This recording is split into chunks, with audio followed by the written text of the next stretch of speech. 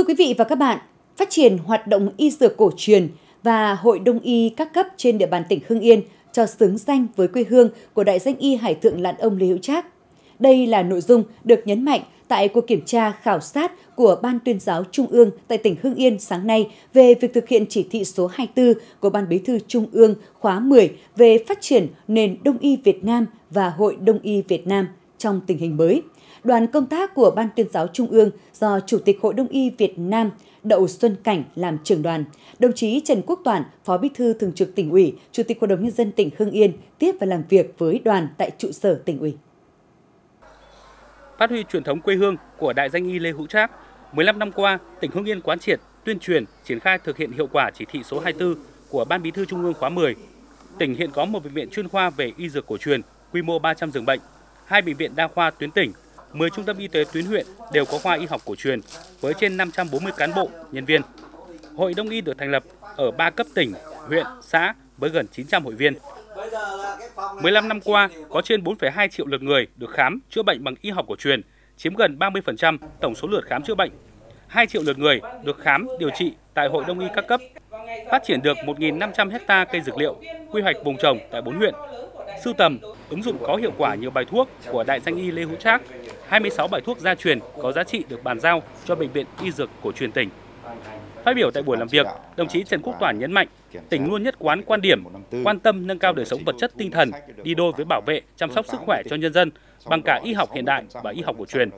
Đồng chí cũng đề nghị một số vấn đề để nền đông y, Hội Đông y Việt Nam phát huy hơn nữa vai trò của mình trong tình hình hiện nay. Chúng tôi phải ghi nhận và đánh giá cao sau khi có chỉ thị 24 và kết luận 154 thì thấy rằng cái bức tranh của Đông y Hưng Yên chúng ta được nhận diện rõ hơn, nét hơn và đóng góp nhiều hơn cho vấn đề ờ, kinh tế xã hội cũng như chăm sức khỏe người dân ở địa phương. Đề nghị là tăng cường đầu tư nhà nước đồng thời khuyến khích các tổ chức cá nhân tham gia đầu tư vào hoạt động phòng bệnh,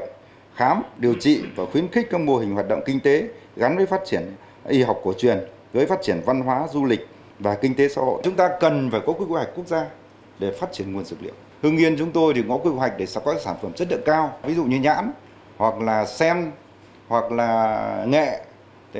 và hoa cúc hoặc là cái cây địa liền, hoặc là ví dụ như là sắn dây, là các cơ quan chức năng của trung ương thì có cái giải pháp hiệu quả để chỉ đạo khắc phục tình trạng là loạn thần y và kiểm soát các sản phẩm đông y